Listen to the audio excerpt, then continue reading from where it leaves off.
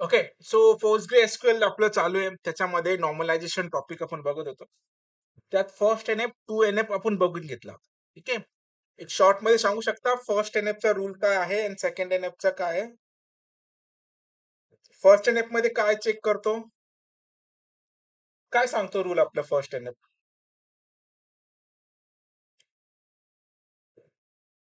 काय सांगतो?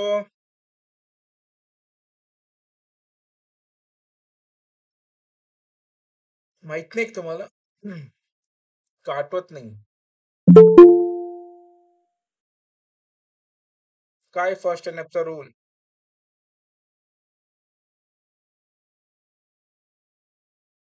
हॅलो?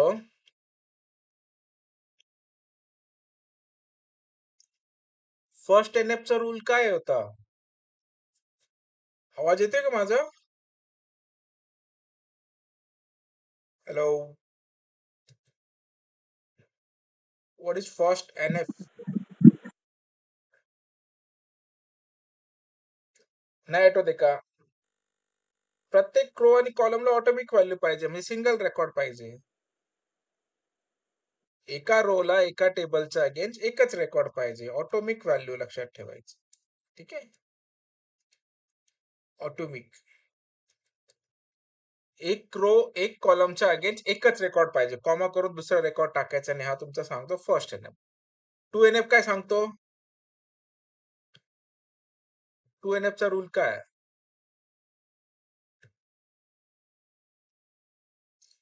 अरे तुम्हाला आठवत नाही का? हे खूप इम्पॉर्टंट आहे. नुसतं इन्सर्ट, अपडेट, डिलीट क्वेरी ते सगळं खूप जणांना येतात पण नॉर्मलाइज असणं गरजेचं आहे. ठीक आहे?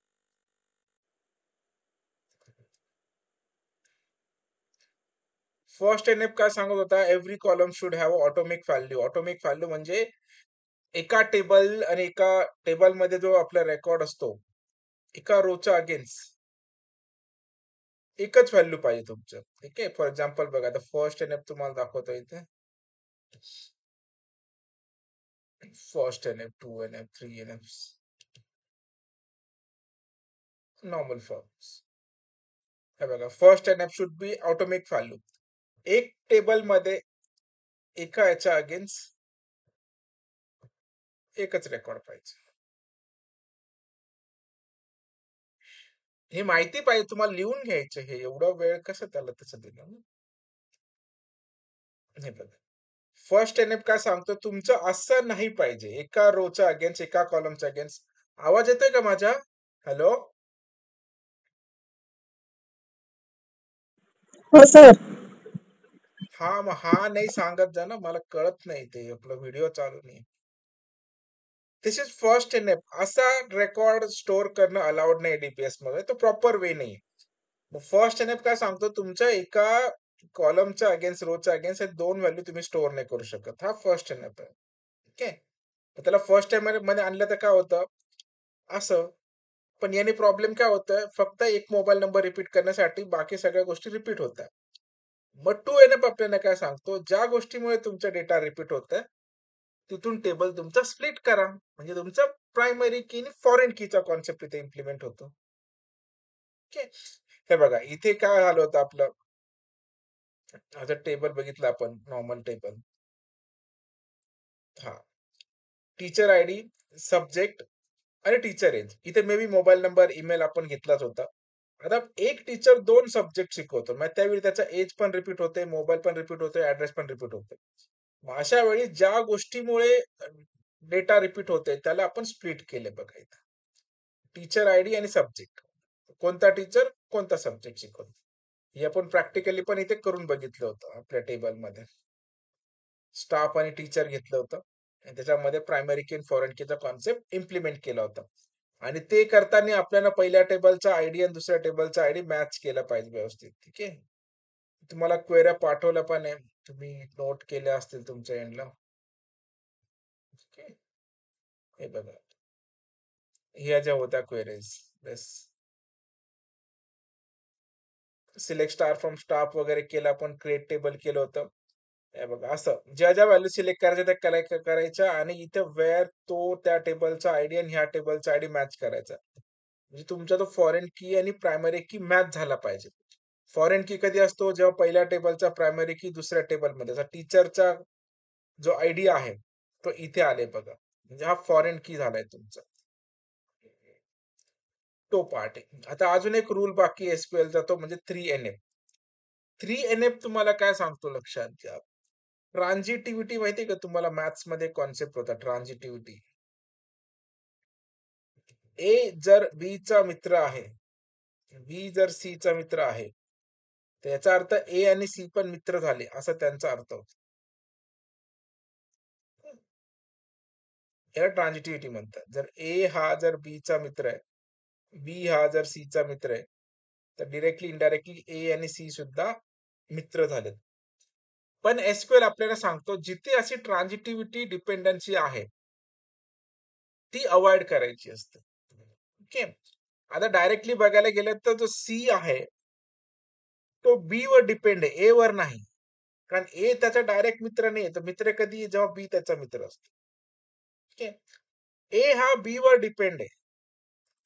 पण बी सी वर डिपेंड नाही. लक्षात येतंय का ट्रान्झिटिव्हिटी. ए जर बीचा मित्र आहे, बी जर सीचा मित्र आहे, तर ए आणि सी डायरेक्टली मित्र असतात. पण तो डायरेक्ट डिपेंड ए वर नाहीये, तो बी वर त्याचा अर्थ होतो. तुम्हाला एक टेबल दाखवतो तुम्हाला लक्षात येईल. 3NF पर्यंत नॉर्मलाइज पाहिजे. सिंपल आहे ते कॉन्सेप्ट जास्त कॉम्प्लिकेट नाही. हे बघा एक टेबल तुम्हाला इथे दिसतंय आता इथे काय-काय आपलं एम्प्लॉय आय डी आहे, एम्प्लॉय नेम आहे. इथं ई-एम-पी, झिप आहे, स्टेट आहे आणि सिटी. हा बेसिकली टेबल जर आपण ऑब्झर्व्ह केलं ना, इथे आपलं 3NF अप्लाय करता येतो. म्हणजे तुम्ही इथे जर ऑब्झर्व्ह केलं, जो स्टेट आणि सिटी हे जे आहे, ते एम्प्लॉय आय डी आयडीवर डिपेंड नाहीये, की एम्प्लॉयी आयडी दोन आहे म्हणून त्याचा यूपी स्टेट आणि नोएडा सिटी. त्याच्यावर डिपेंड नाही ते डिपेंड कोणावर आहे? झिप कोडवर डिपेंड पिन कोडवर डिपेंड तुमचा जर पिन कोड हा आहे, तर तुमचं स्टेट हा आहे आणि सिटी आहे याचा अर्थ असा होतो. म्हणजे एम्प्लॉय सिटी आणि स्टेट कोणावर डिपेंड झाले तुमचे? झिप कोडवर डिपेंड झाले. ना की तुमच्या एम्प्लॉय आय डी आयडीवर. जिथे अशी गोष्ट येते दिस एम्प्लॉय सिटी आणि स्टेट हे तुमचे डिपेंड आहे कोणावर? एम्प्लॉय झिप कोडवर. ओके. म्हणजे हा टेबल एक पूर्ण तुमचा हे झाला. म्हणजे हा झिप कोड का झाला तुमचा? बी आणि हा का झाला तुमचा? ए आणि हा का झाला तुमचा? सी. ओके. जर हा याचा मित्र आहे, तर हा याचा मित्र आहे. तर हे डायरेक्टली सिटी आणि हे झिप कोड इथे असल्यामुळे यांची व्हॅल्यू इथे डायरेक्टली एला कनेक्टेड पण तसं नसेल तर हे कनेक्टेड नसतात. मग जिथे अशी ट्रान्झिटिव्हिटी डिपेंडन्सी आहे, ती अवॉइड करायची असं आपल्याला थ्री एन एफ रूल सांगतो तुमचं ओके. मग याला अवॉइड करायचं असेल तर करायचं काय? तर ह्या टेबलला स्प्लिट करायचं आणि हा झिप कोड दुसऱ्या टेबलमध्ये घेऊन टाकायचा. हे बघा खाली जसं केलेलं त्यांनी. इथे एम्प्लॉयी आयडी, एम्प्लॉय नेम टाकलं, इथे झिप कोड ठेवलं. ठीक आहे. आणि टेबल बघा परत काय केलं. हा झिप कोड इथे घेतला, स्टेट घेतला. म्हणजे याचा अर्थ हे सिटी आणि स्टेटला एम्प्लॉय आय डी आयडीवर डिपेंड राहण्याची गरज नाही. तर कोणावर डिपेंड आहेत? झिप कोडवर. ओके. मग आपल्याला ह्या एम्प्लॉयचा सिटी शोधायचा असेल, तर हा झिप कोड ह्या टेबलमध्ये जाऊन मॅच करायचा. म्हणजे त्याचा सिटी पण इथे तुम्हाला भेटून जाईल. ओके. तर मला याच्यातली एक क्वेरी तुम्ही सांगा, म्हणजे तुम्हाला ते कळालं असं त्याचा अर्थ होतो. मला जर ह्या एम्प्लॉयची ट्रिपल टू नावाचा जो एम्प्लॉय आहे, तो कोणत्या सिटीमध्ये राहतो त्या सिटीचं नाव काढायचं लक्षात आलं? Find the city name of employee ID 222. तर त्या एम्प्लॉयी आयडीचं सिटी कसं काढून घेणार? सांगा. क्वेरी सांगा मला म्हणजे तुम्हाला ते समजलंय असा अर्थ त्याचा होतो. तुम्ही सांगा मी टाईप करतो म्हणजे ते एक होऊन जाईल लोक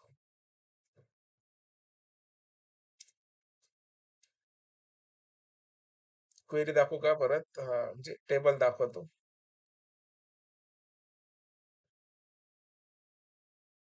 हा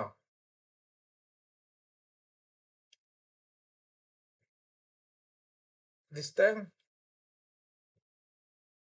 अच्छा. सांगा चला क्वेरी. काय फाइंड करायचं लक्षात घ्या. मला या एम्प्लॉयचा म्हणजे हॅरी नावाचा एम्प्लॉय जो आहे, हॅरी कोणत्या सिटीमध्ये राहतो त्याचं नाव काढायचं. ठीक आहे? क्वेरी सांगायचं. जे जसं माहीत असेल त्या वेळेने सांगा. चुकलं तरी चालेल. शांत बसलं तर ते मलाही कळत नाही काय चाललंय ते असं. जे माहिती असेल ते सांगा. एवढे दिवस तर केलं ना, आता 8-10 दिवस झाले SQLवर.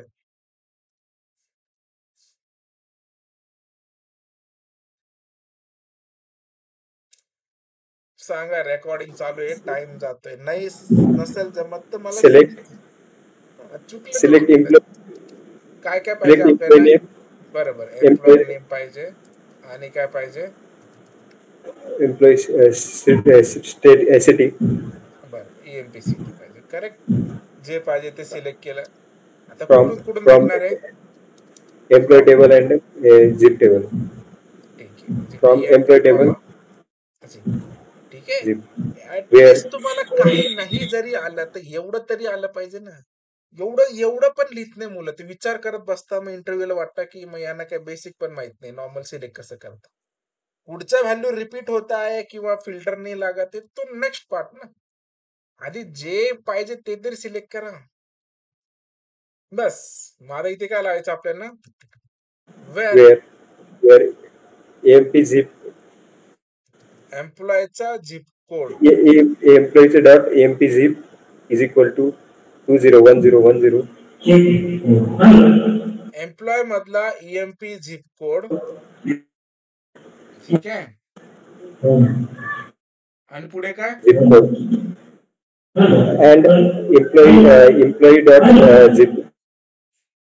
कोड equal हा to- झिप मधला एम्प्लॉय झिप सोबत मॅच पाहिजे. बरोबर? एम्प्लॉय मधला employ zip code is equal to match पाहिजे झिप मधला एम्प्लॉय झिप कोड सोबत.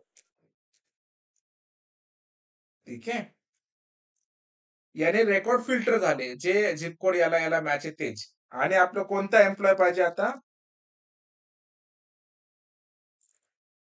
जो पाहिजे तो employ ID is equal to जो पाहिजे तो. चालेल तर अशी क्वेरी करायची असते. ठीक आहे. सिंपल जे जे सिलेक्ट करायचे ते ते सिलेक्ट करायचं फ्रॉम तो तो टेबल आणि कोणता रेफरन्स कशामुळे या टेबलची मॅचिंग होते ते फाउंड करायचं. तर आपण डायरेक्टली ह्या कोडवर मॅच नाही करू शकत ना एम्प्लॉय आयडीचं. कारण एम्प्लॉय आयडी ह्या टेबलमध्ये नाहीच आहे. ह्या टेबलमध्ये आहे काय? झिप कोड म्हणून तो आपला एम्प्लॉयचा झिप कोड आणि त्याचा झिप कोड मॅच करून घेतला. पण कोणाचा झिप कोड मॅच व्हायला पाहिजे? ज्याचा आयडी आहे. याचा आयडी काय आहे? 210 जे पण आहे. 201010 मग आपण 201010 मग याचा सिटी फक्त आपल्याला सिलेक्ट करून देईल. मला लक्षात? तर हे आपलं थ्री एन एफ आहे. जिथे ट्रान्झिटिव्ह डिपेंडन्सी असते तिथे थ्री एन एफ येतं. नॉर्मली नव्वद टक्के लोक टू एन एफ पर्यंत करतात. कधी काही सिच्युएशन मी थ्री एन एफमध्ये येतं. तो आपला हा थ्री एन एफ आहे. ठीक आहे. तर आता एक लेवल आपल्या बेसिक सगळ्या क्वेरीज संपत आलेल्या जवळजवळ तुम्ही बघितलं. तर नॉर्मली आतापर्यंत आपण काय-काय बघितलं? भरपूर सारे फंक्शन्स बघितले आपण बघायला गेलो सगळ्या टाईपच्या क्वेरी बघितल्या. इन्सर्ट टेबल क्रिएट कसं करतात तिथून सुरुवात केली होती आपण. ठीक आहे. काहीतरी क्रिएट C-R-E-A-T क्रिएट केलं आपण काय-काय केलं? टेबल क्रिएट केलं. देन आपण डेटाबेस क्रिएट केलं.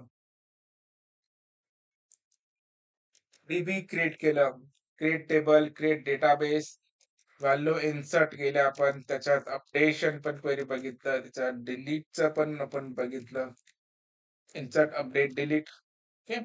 सगळ्यात जास्त कॉम्बिनेशन जे आहे ते सिलेक्टचे सिलेक्टमध्ये खूप साऱ्या गोष्टी होता अँड होता, ऑर होता, इन होता, नॉट इन होता ओके. बिटवीन वगैरे पण बघितलं. बिटवीन पण बघितलं. ॲग्रीगेट फंक्शन बघितले. अजून काय बघितलं? लाईक पॅटर्न बघितले. आणि हे प्रायमरी की, फॉरेन की, युनिक की आणि आपलं नॉर्मलाइज सगळे फॉर्म बघितले. तर हे क्वेऱ्या तुम्हाला जर करता आल्या तर तुम्हाला कुठलीही जर स्टोरी त्या दिली तर तुम्हाला ते प्रॅक्टिकली इम्प्लिमेंट करता आलं पाहिजे. बेसिक क्वेरी खूप जणांना येतात की डायरेक्टली टेबल बनवून दिलेला आहे. त्याच्यामध्ये रेकॉर्ड्स आहेत. तुम्हाला फक्त सिलेक्ट करायचं असेल तर खूप जण करतात नॉर्मल पण तुम्हाला जर हे फक्त एक स्टोरी सांगितली आहे त्याचा एक डेटा स्ट्रक्चर बनवून घ्यायला लावला टेबल बनवा याचं तर ते तुम्हाला बन जमलं पाहिजे की कुठ आपण ह्या गोष्टीला कसं टेबल फॉर्मॅटमध्ये कन्वर्ट करू शकतो त्याचा. ठीक आहे? तर हे सगळं त्याच्यामध्ये. त्याच्यानंतर आपण ऑर्डर बाय पण बघितलं होतं. ऑर्डर बाय क्लॉज बघितलं होतं. त्याच्यानंतर लिमिट बघितलं होतं. ओके असेंडिंग डिसेंडिंग लिमिटमध्ये ऑप्शेट वगैरे. तर या सगळ्यांचं कॉम्बिनेशन वापरायचे डायरेक्टली इनडायरेक्टली आणि with the help of this normalize form हे नॉर्मलायझेशनचा विचार टेबल क्रिएशनच्या वेळेसच केला जातो. ओके तो जर प्रॉपरली बनला तर ह्या क्वेरी प्रॉपरली वर्क होतात. ठीक आहे. हे लक्षात आले तर आता अजून काय बाकी मी इथे बघावं लागेल. क्वेरी मध्ये कुठलं फिल्टरेशन हा आता इथून पुढे काय? काही फंक्शन्स वगैरे. एसक्यूएल चे काही फंक्शन्स मी बेसिक दाखवतो. आधी बिल्ट इन फंक्शन दाखवतो जे सिस्टीमने ऑलरेडी आपल्याला प्रोव्हाइड करून दिलेले. आहेत त्याच्यानंतर आपण स्वतःचे पण फंक्शन किंवा त्याला प्रोसिजर म्हणतात. ती बनवून घेऊ शकतो आपण. ठीक आहे? आता पोस्टग्रेसक्यूएल चे काय बिल्ट इन फंक्शन दाखवतो दाखवलंय का तुम्हाला आधी? बघितलं आपण. की नाही दाखितलं. तुम्हाला नव्हतं सांगितलं. पोस्टग्रेसक्यूएल फंक्शन्स फंक्शन म्हणजे माहिती ना रेडी फीचर्स जे आपल्याला प्रोव्हाइड करून दिलेले आहेत. ओके खूप सारे फंक्शन्स प्रोव्हाइड करून देतात मी दोन चार फंक्शन तुम्हाला सांगतो. पण डिपेंडिंग ऑन तुमचं नीड तुम्ही काय करू शकता त्याला? यूज करू शकता त्या फंक्शन पण फंक्शन वापरायचं कसं हे पण माहिती पाहिजे. नाही तर दिलेलं आहे तुम्हाला माहितीच नाही असं नको व्हायला. तर ते फंक्शन्स मी काही फंक्शन दाखवतो तुम्हाला. आय थिंक इथे दिलेलं आहे. हे बघा. हे फंक्शन नाही बिल्ट इन फंक्शन बघायचे. हे तर नंतर आपण बघणार आहे. फंक्शन लिस्ट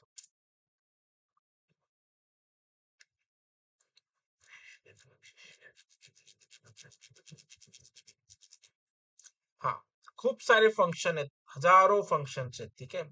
सगळे वापरायचे नाही आपल्याला. दोन तीन मी वापरून दाखवतो.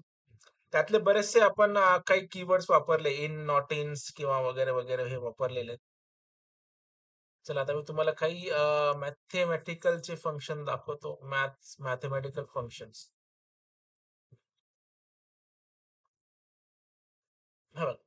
हे बेसिक फंक्शन तुम्हाला माहिती आहे ऍडिशन सबट्रॅक्शन मल्टिप्लिकेशन वगैरे वगैरे वगैरे वगैरे.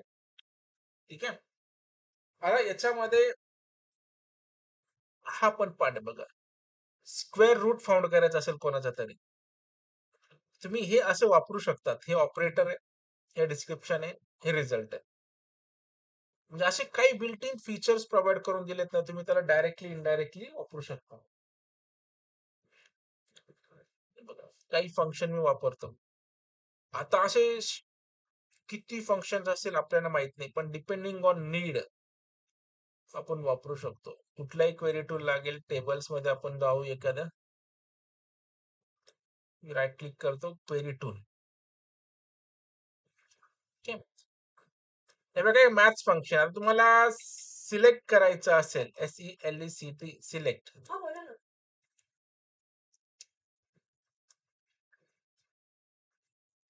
select केलं मी मला स्क्वेअर रूट सिलेक्ट करायचं आहे समथिंगचा तर काय फाईव्ह स्लॅश दिस नाही कोणता स्लॅश येतो फॉरवर्ड स्लॅश हा स्लॅश फाईव्ह पण स्लॅश कोणाचा स्क्वेअर रूट फाइंड करायचा मला काय टाकायचा सिक्स्टी फोरच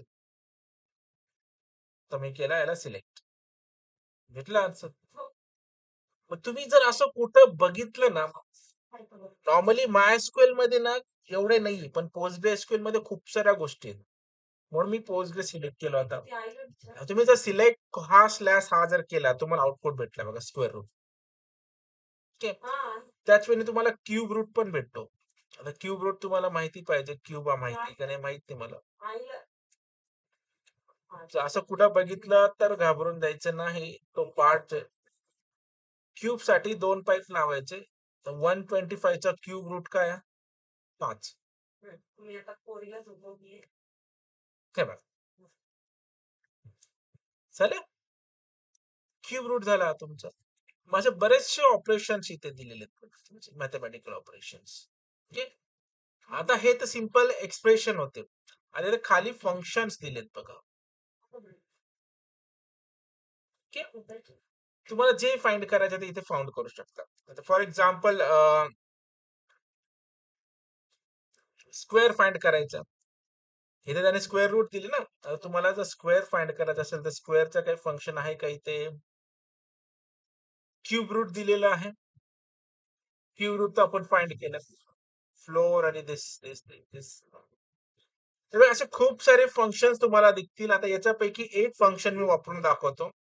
हा सीलचा आणि फ्लोअरचा ठीक आहे? बघा फंक्शनला वापरायचं कसं आहे? आता आपण खूप सारे सॉफ्टवेअर तुम्ही मॅथमॅटिकल कॅल्क्युलेशनच्या हिशोबाने बनवत असाल तर कोणाचं बिलिंगचं सॉफ्टवेअर वगैरे असेल. मग त्या ठिकाणी एक राऊंड अपचा ऑप्शन येतो बघा. जर त्याची व्हॅल्यू नऊ पॉईंट पाच आहे नऊ पॉईंट सहा आहे तर ते दहा करून टाका.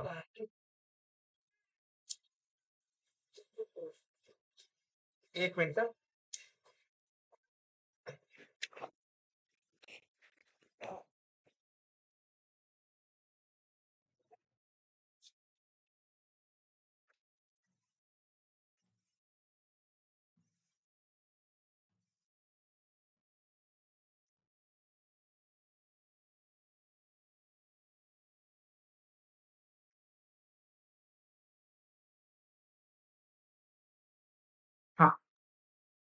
काही मॅथमॅटिकल ऑपरेशन परफॉर्म करायचे असतील तुम्हाला. फॉर एक्झाम्पल कधी कधी रिक्वायरमेंट अशी असते की नऊ पॉईंट वन जरी असेल तरी तुम्हाला त्याची व्हॅल्यू दहा झाली पाहिजे. ओके मग त्यावेळी तुम्हाला एक फंक्शन वापरावं लागतं सी म्हणून.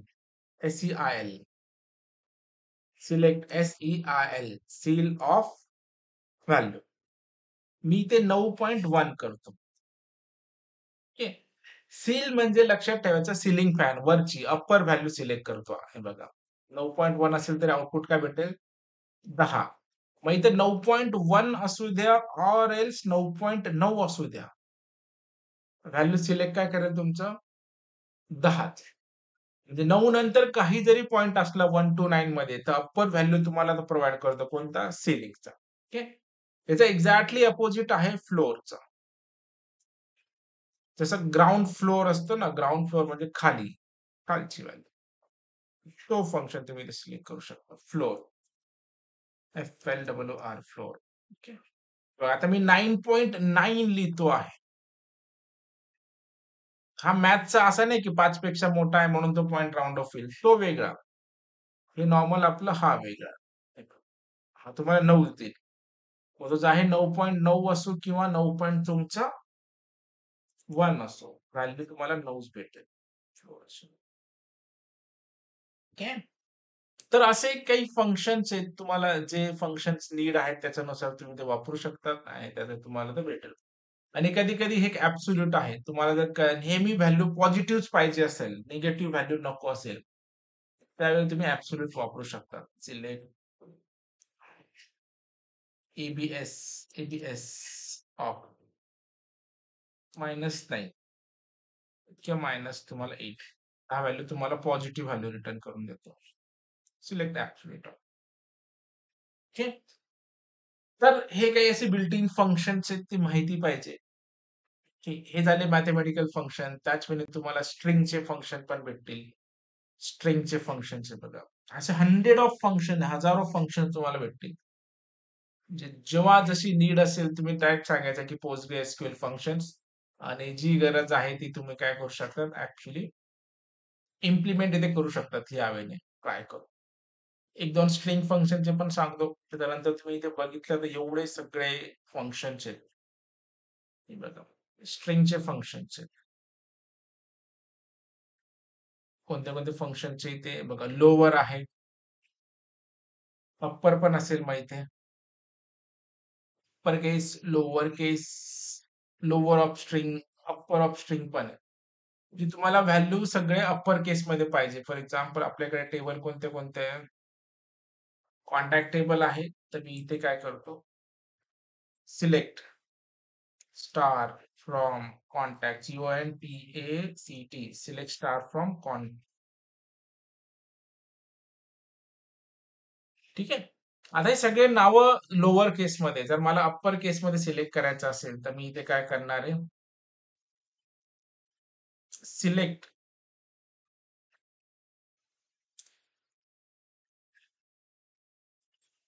सिलेक्ट करायचे तुम्हाला काय सिलेक्ट करायचे? Upper upper upper upper upper upper upper upper U double P E R upper of कोणता नाव अप्पर पाहिजे तुम्हाला? Name N A M E name तुम्हाला अप्पर केस मध्ये पाहिजे. म्हणून इथे तुम्ही काय करणार? सिलेक्ट अप्पर ऑफ नेम जेवढे लोअर केसचे नेम आहे तुम्हाला सगळे अप्पर केस मध्ये भेटतील ओके ते फंक्शनचा हा एक फायदा असतो. हा एक फंक्शन आहे अप्पर केस तुम्हाला लोअर केस मध्ये पाहिजे तर बाय डिफॉल्ट लोअर केस मध्ये भेटेल. अपार्ट फ्रॉम दिस तुम्हाला अजून काय पाहिजे. त्याची लेंथ फाईंड करायची असेल नावाची. तुम्ही त्या नावाची लेंथ पण फाइंड करू शकतात. फॉर एक्झाम्पल हेच वापरते मी ते त्या फंक्शनला कॉपी करा एंटर करा. Select L N G T H length of name मग प्रत्येक कॅरेक्टरची तुम्हाला लेंथ भेटणार आहे. तुम्ही इथे काय करू शकतात? नेम कॉमन लेंथ करू शकतात. नेम कॉमन लेंथ तुम्हाला इथे नाव पण भेटेल प्लस लेंथ किती हे पण भेटेल. ठीक आहे? ऍक्च्युली बघायला गेलं तर हे सगळ्यांना प्रोग्रामर करून घेतात डेव्हलपर प्रोग्रामॅटिकली व्हॅल्यू सिलेक्ट झाल्यानंतर मग ते मॅथ प्रोग्रामचे कॉन्सेप्ट वापरतात. पण पोस्टग्रेसक्यूएल सांग यांनी एवढे बिल्डिंग इन फंक्शन प्रोव्हाइड करून दिलेले आहे डेव्हलपरचं काम फक्त व्हॅल्यू सेट करणं हे राहतं. एवढं कॅल्क्युलेशन वगैरे प्रोग्रामिंग त्याची कमी होऊन जाते. कारण बॅकएंडनीच भरपूर गोष्ट इथे मॅनेज होतात ते. ते एक फंक्शनचे मग एवढे सगळे फंक्शनचे बिल्ट इनचे स्ट्रिंगचे वगैरे. तुम्ही स्पेस काढू शकतात एखाद्याची आस्की व्हॅल्यू घेऊ शकतात. सब स्ट्रिंग तुम्ही ऍक्च्युअली घेऊ शकतात. दिस हे बघा आस्की व्हॅल्यू पण आहे इथे. एवढे सगळे फंक्शन्स आहेत आता तुम्ही सगळे करत बसला तर खूप वेळ. आणि याच्यात हे पण भारी रिव्हर्स पण करून देतं बघा.